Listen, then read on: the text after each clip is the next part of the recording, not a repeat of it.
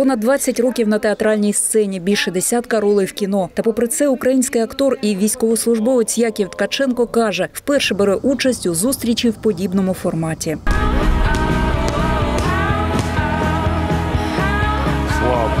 З перших днів Великої війни Яків Ткаченко вступив до лав територіальної оборони Дніпра. У складі ЗСУ воював під Вугледаром, був двічі поранений. Проте каже, це для нього не найбільше випробування на війні.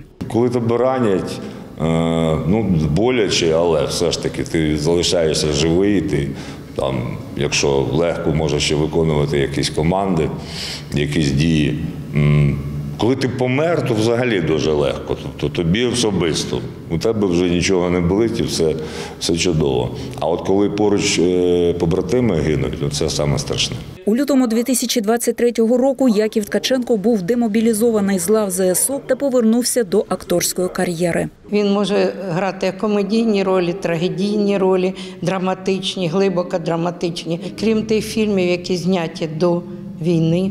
Він ось закінчився буквально місяць тому. Прем'єра Перевізниця, десятисерійний фільм про нашу сьогоденність, про те, як жінка рятує різних людей, вивозячи їх з зони е, бойових дій. Це був перший український досвід міжнародної колаборації а, з французькою студією Гамонт.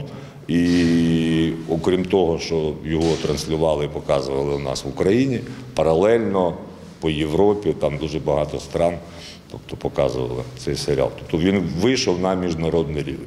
слід забиратися, Будь за главного, а по тих, поки я не вернусь. А куди ви собрались? відкривати вогонь.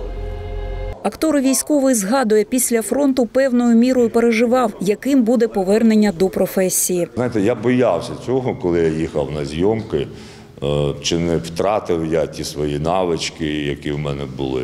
Але ну, дякувати всій команді, які, в принципі, я так розумію, що вони ну, розуміли, звідки я повернувся. До мене було таке лайтове ставлення. Ну, от, і, в принципі, я дуже легко, нормально влився е, в команду, в роботу. Яків Ткаченко твердить, повернеться до війська. каже, має зокрема звести особисті рахунки з ворогом. Попадаючи в військо, я розумію людей, які до того ну просто жили мирним е, життям, були цивільними, і там через декілька місяців вони потрапляють м, десь напередок. Тобто я знаю, як їх підтримати. Мені просто потрібно їхати.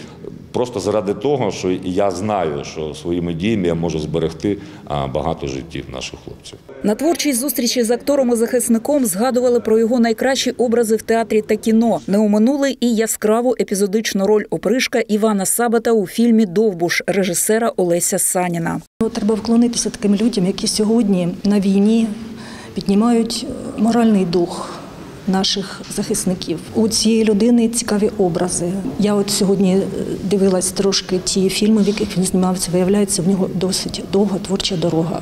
Яків Ткаченко каже, має плани повернутися на сцену театру. Додає після перемоги. Оксана Ващенко, Руслан Герасименко, Open News, телеканал відкритий.